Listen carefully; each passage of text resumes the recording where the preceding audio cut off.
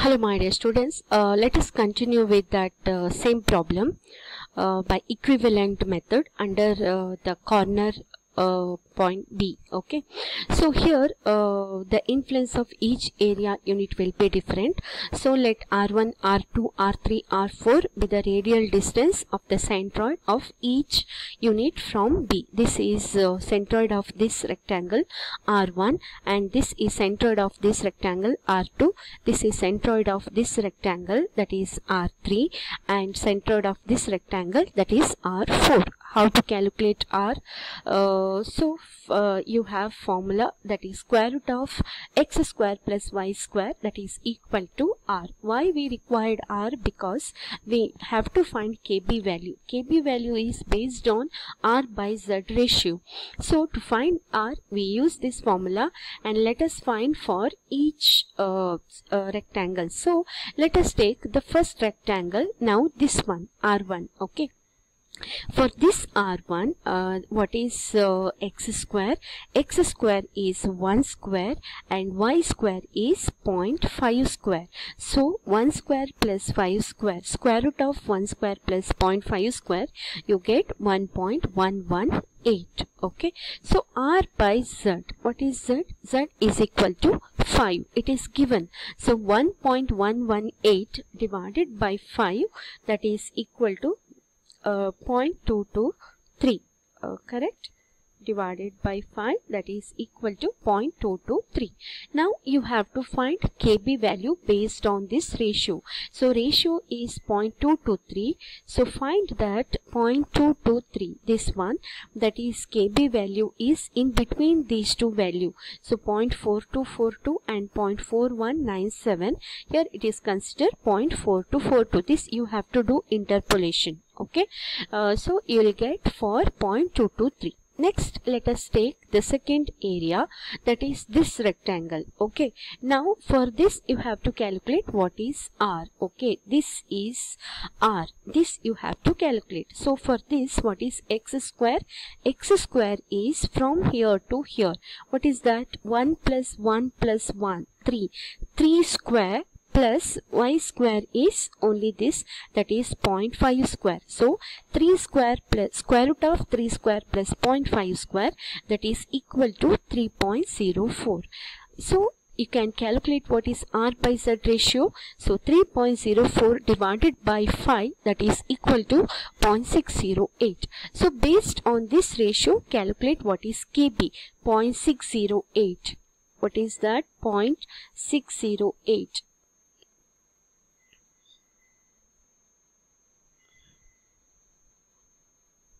0.608 is almost 0.61 that is 0.2165 0.2165 but here it is uh, interpolation is done.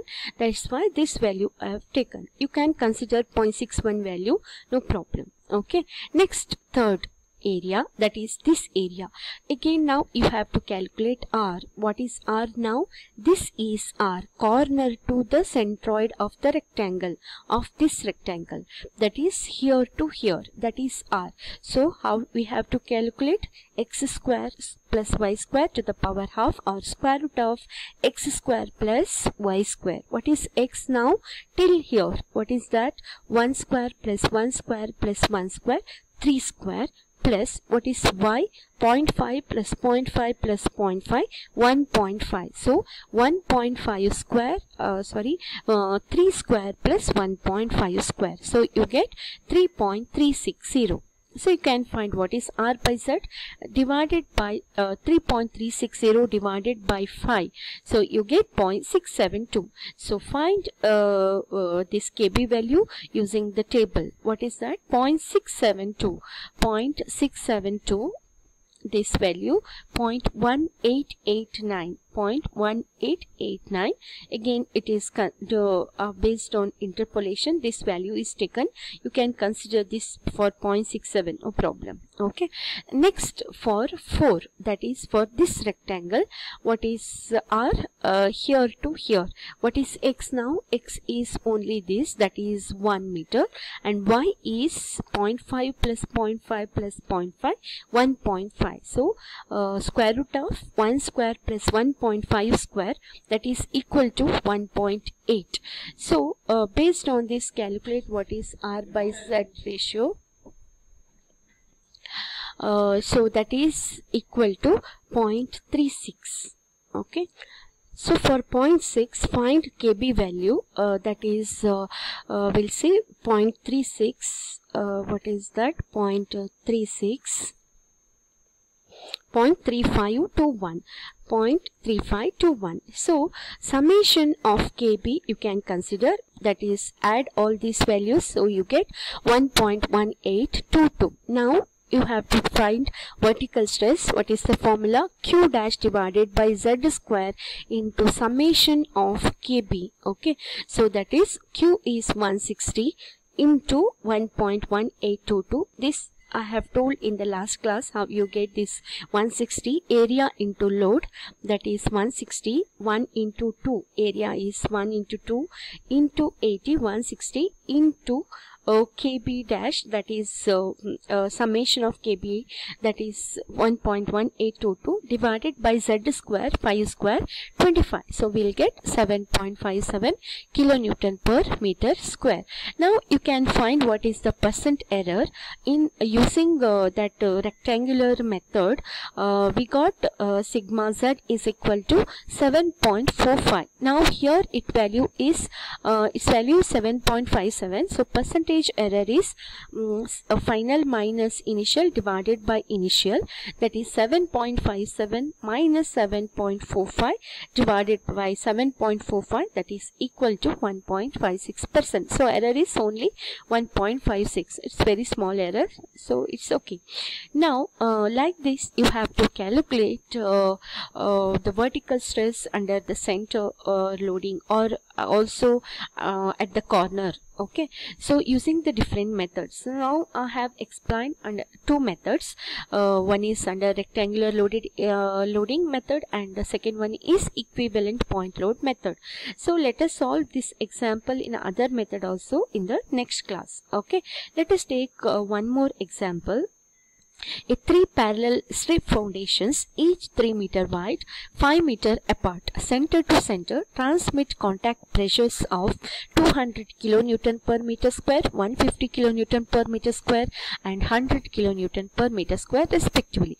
Calculate the intensity of vertical stress due to the combined loads beneath the center of each footing at 3 meter depth. Use Boussinesq line load approximation. So you have to use that equation Boussinesq line load approximation. What is that formula uh, for uh, line approximation? Um, so this is given okay uh, this is a strip footing of um, 200 kilonewton per meter square and uh, this uh, length is 3 meter uh, and uh, this uh, depth is also 3 meter. And uh, the distance between each uh, this uh, center to center is 5 meter. Now uh, first you have to consider assume equivalent line loads are multiplied by 3 200 into 3 intensity into length. So convert into load means 200 into 3 that is equal to 600 and next for this 150 into 3 that is 450 and uh, q dash uh, is uh, uh q dash 3 is equal to 100 into 3 that is equal to 300 kilonewton per meter so how to solve this? We have this formula for uh, uh, strip foot uh, foundations. Uh, sigma for uh, line loads. Uh, the uh, summation or delta sigma z is equal to 2 into q into dx divided by pi z into 1 divided by 1 plus x pi z whole square to the power 2 okay this dx is uh, considered only for the smaller area. If for whole area you just consider 2 into q okay. So based on this using this formula we will find for uh, each uh, loads. Here it is given for p1 p2 and p3 let us take first p1 okay?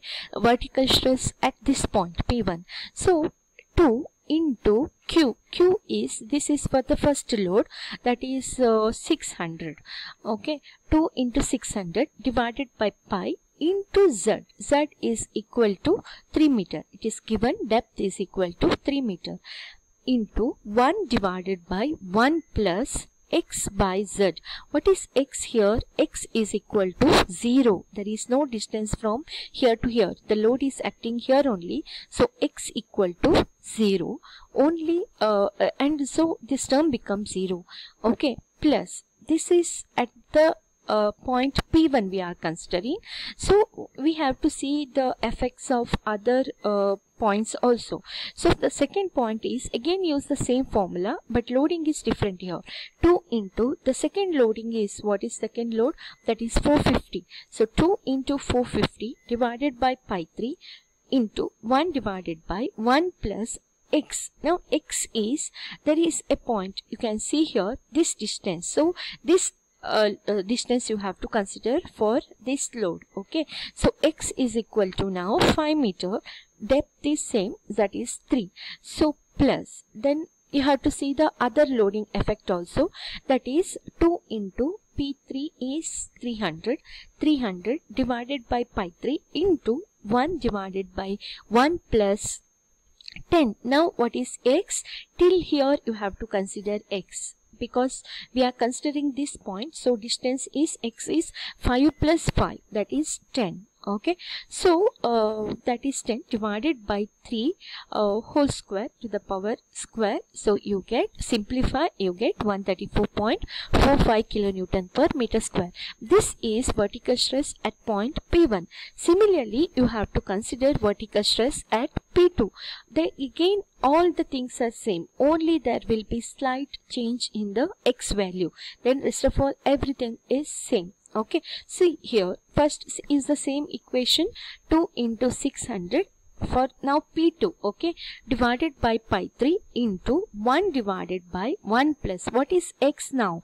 We are considering this load. So you have to see what is the effect from this side. So now X is equal to 5 okay? Previous case X was equal to 0 but here X is equal to 5 divided by Z is 3 whole square plus 2 into 450 divided by pi 3 into 1 divided by 1 plus x. Now what is x? x is equal to 0 because P2 we are considering here there is no x distance okay uh, it is acting here only so that's why it is 0 plus for this third load uh, 2 into 300 divided by pi 3 into 1 divided by 1 plus now x is equal to for when you consider this for this the x is equal to 5 meter. The distance of x is 5 so consider that that is 5 simplify you get 108.87 next similarly for the third load vertical stress at point p3 everything is same only the difference is x value. Now for this p3 here this value what is x? x is equal to the load is here the distance of x is equal to 10 meter and y equal to 5 so 10 divided by 5 other things are same. Next for the second case what is x? We are considering p3 so x is equal to 5 okay y z is equal to 3 then last one p3 here. It is acting here only. So there is no x distance. X is equal to 0 so 0 by uh, z that term becomes 0 simplify you get 71.22 kilonewton per meter square. So like this you can calculate the vertical stress at different points P1, P2, P3 under uh, the uh, parallel strip foundations. Okay. I hope all of you understood. Thank you.